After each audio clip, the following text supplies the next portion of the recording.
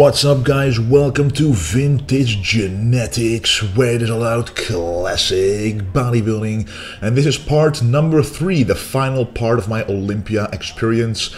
And right here we are at the finals, at the Friday show, where I would still go on stage for a little while. And this is actually the backstage area, where all the guys, including the open class guys, as you can see right there, are... Uh, training, resting, warming up, getting a tan, etc. So it was pretty amazing to see.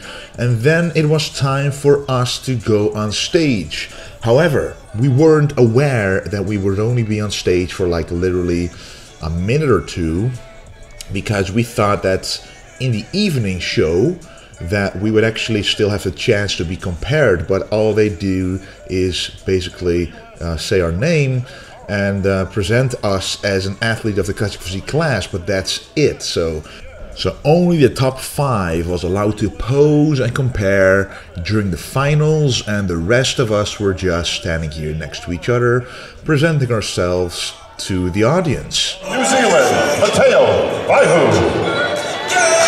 From the Netherlands, Wesley Visser. From the USA, Divine Wilson. But hey, at least I was at the official Olympia stage.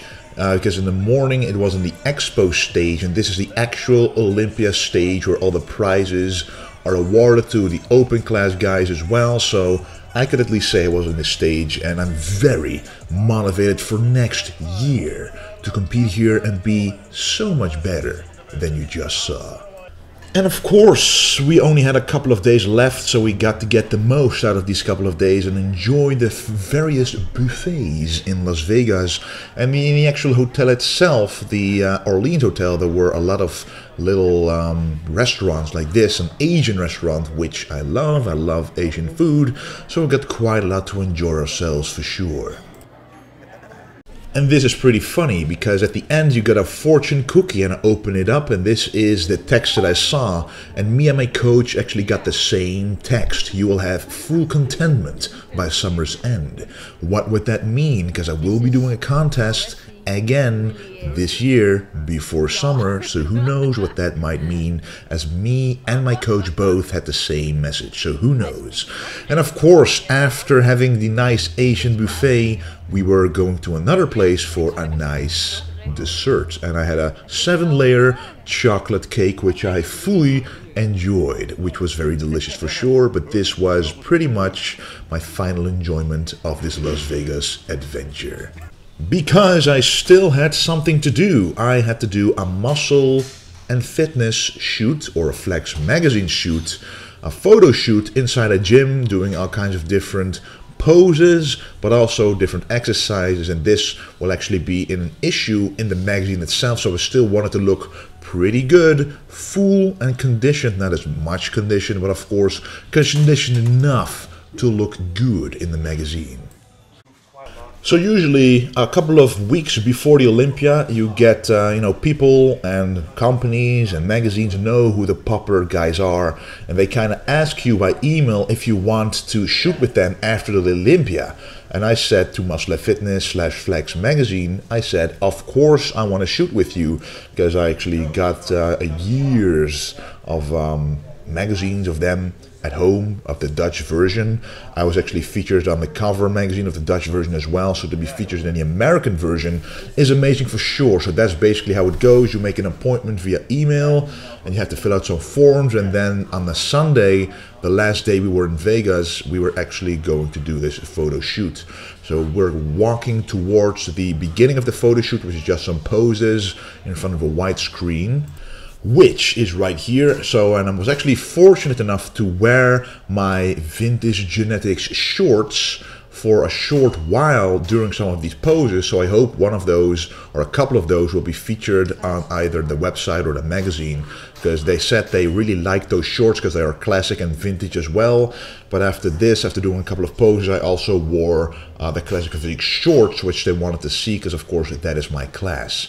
And of course, I was going to do some classic pose like this. One of my favorites, the 3-4th front double bicep. And then we went on to do the actual photo shoot in the gym. So for you guys who don't know how this is usually done, beforehand you have to send a list. Uh, first of all, the muscle groups that you want to train. For me, it was chest and uh, triceps. And then you have to say the exercises that you want to do, that you want to have captured on film. And of course, the exercises that I chose were all classic exercises like the bench press, the dumbbell press and the dumbbell pullover that you see right here. I don't think a lot of people choose this exercise for a chest session, but this will all be covered in the Muscle and Fitness magazine of the Flex uh, magazine section in the magazine itself. And you, now you can see kind of how it goes. Every single you know, exercises captured from different angles and they move around those lighting, the flashes, they move them around to actually get a very nice result at the end. And you can actually watch the pictures right after they are taken. But it was an amazing experience for sure to actually be in an official photo shoot for a very popular bodybuilding magazine in America. I'm a Dutch guy. For the first time doing the Olympia, already experiencing this.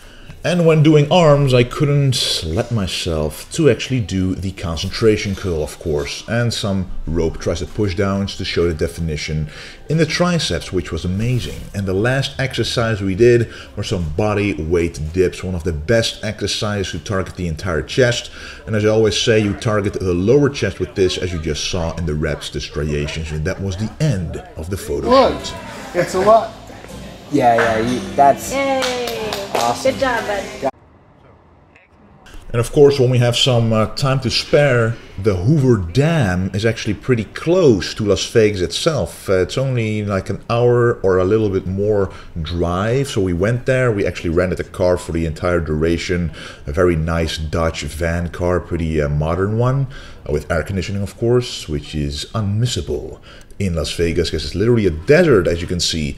But the environment is really amazing to see and Hoover Dam right here is just incredible. You really have to see it for yourself but look at how deep this goes down and this is just one of the things that I will definitely remember for the rest of my life because the Olympia itself of course is amazing but to experience Las Vegas for the first time and the entire state of Nevada right here the you know the the nature the history, seeing everything like this, the entire, the amazing constructions that you see. This is actually the other side of the Hoover Dam where the water is still high. And uh, on the other side that you will see in just a second is where actually the water is a lot lower because that is what the dam is for, holding the water on the other side and letting a little bit through to actually you know, conduct electricity to power Las Vegas. And look at how deep that is incredible.